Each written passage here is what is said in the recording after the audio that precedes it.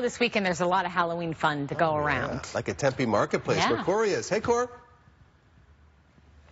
Yeah, hey, uh, sorry I just blathered on and on there That's earlier. I get pretty wound up whenever Halloween comes around. Yeah, and we've got all of our friends as met all of them uh, so far. And uh, the good news is if you're ready to get your kids out and going and you want to do it soon and you want to do it in a place that's well lit and full of fun, Guess who's going to help you out? Emily Andrews. Uh, and you're right. We're at Tempe Marketplace, and you guys all or Marketplace. uh, You do such a great job every Halloween. Tell me what's going to be happening here Well, over the next couple of days. We love hosting free and fun events, and we have a great one this Friday at Tempe Marketplace, our Creepy Candy Crawl. And you're right, it's well lit, safe, and a lot of fun for families to come out. Here And you are, kids. Eat up. free. Just start chewing so on that stuff. Take anyone store to store, trick or treat, get great candy, and then we also have live entertainment, music, dancing, games, and prizes all on our stage, and four really fun costume contest. So Oh. we'll have best family group costume. We'll also have most unique, creepiest costume, and then best character film TV. We've got gift cards that we're giving away, trophies. Of course, you'll win some bragging rights. It's a ton of fun. Again, happening here at Tempe Marketplace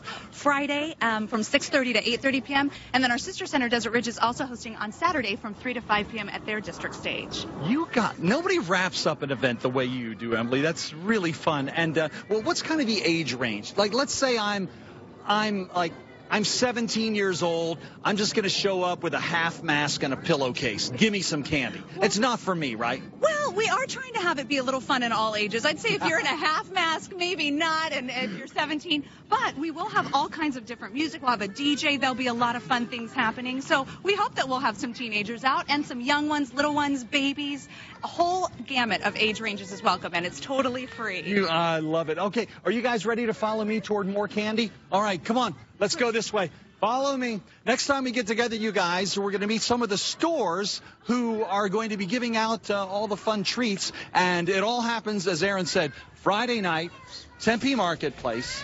Can, it, can you guys run? Are you fast runners? I bet I'm faster than. Oh, there we go. Catch me, It's on. Goldilocks. Getting your exercise. Your 60 minutes of play in. Oh, here she comes. I like that mall is uh, so pretty. It is, and now Look at it's so nice because it's uh, good weather.